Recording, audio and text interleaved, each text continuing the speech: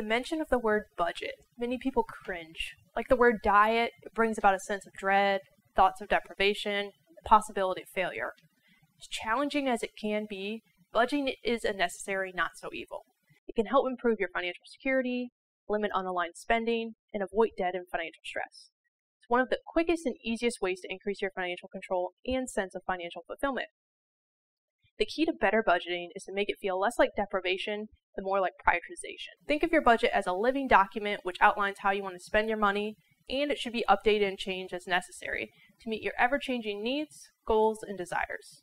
As your desires change, so does the documentation. So let's put this practice into motion. At least once a year, you should reevaluate priorities and identify the things you currently spend money on which are no longer important to you. So, for example, in 2020, I saw a huge priority of mine was DoorDash. For 2021, I shifted my priorities to long overdue travel plans. As new priorities rise above old priorities, cut spending on the old priorities so you can free up money to spend on what you now desire. So, as basic as it may seem, a truly reflective budget is the foundation towards financial wellness, and it can't be a set it and forget it tool. Organizing your cash flows year after year allows you to grow your savings so you're not living paycheck to paycheck while building towards your future goals.